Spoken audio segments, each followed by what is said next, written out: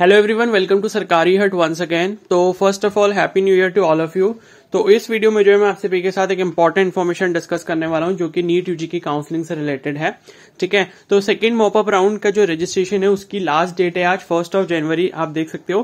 Fresh registration जिसको भी करना था उसकी लास्ट डेट आज है। ठीक है? और जिसने आ, मतलब पहले से रजिस्ट्रेशन कर रखा है उनको रजिस्ट्रेशन नहीं करना लेकिन फिर भी एक बार लॉग इन करके चेक कर लेना कि आपके पास चॉइस फिल करने का ऑप्शन आ रहा है या नहीं आ रहा। ठीक है? क्योंकि चॉइस फिल करने की भी जो है आज ही लास्ट डेट है और आप यहाँ पर देख सकते हो जो आपको पेमेंट करनी है वो तीन बजे तक करनी है और उसके बाद चॉइस फिलिंग का जो टाइम यहाँ पर दे रखा है वो जो है, आपके रात के ग्यारह बज के उनसठ मिनट तक है, ठीक है? और जो चॉइस लॉकिंग होगी, वो शाम को आज चार बजे से स्टार्ट होगी, ठीक है ना? तो ऐसा है कि मतलब इसका जो चॉइस लॉकिंग का पीरियड है मतलब जैसे आपने चॉइस फिल करके रख दे, और उसके बाद अगर आप सोचो कि भी चॉइस लॉक करने का तो अभी नहीं होगी, शाम को चार बजे के बाद से चॉइस लॉक होगी, ठीक है?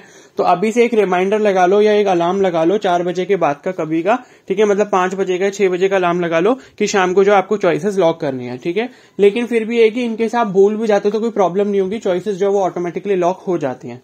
क्लियर है? लेकिन लॉक कर लोगे तो ज़्यादा अच्छा रहेगा। तो चॉइस फिल करने की भी अभी लास्ट डेट है और जो फ्रेश रजिस्ट्रेशन है, उसकी जो टाइमिंग है, वो आज फ़र्स्ट ऑफ़ जनवरी को दोपहर बारह बजे तक ही है, ठीक है ना?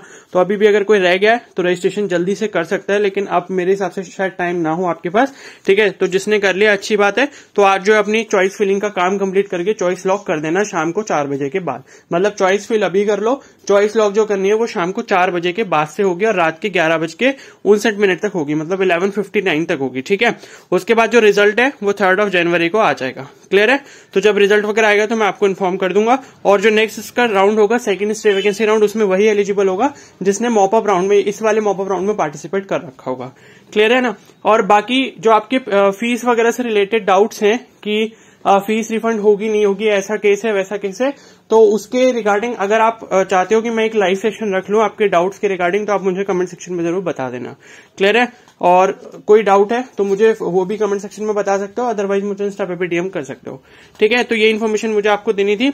Okay so good luck every for this year और इस वीडियो को हम लोग यहीं पर एंड करते हैं। अगर ये वीडियो हेल्पफुल लगे तो प्लीज़ को ज़रूर लाइक कर देना। चैनल पर नए तो सब्सक्राइब कर लो और बेल आइकन को प्रेस कर लो। Okay so thank you and have nice day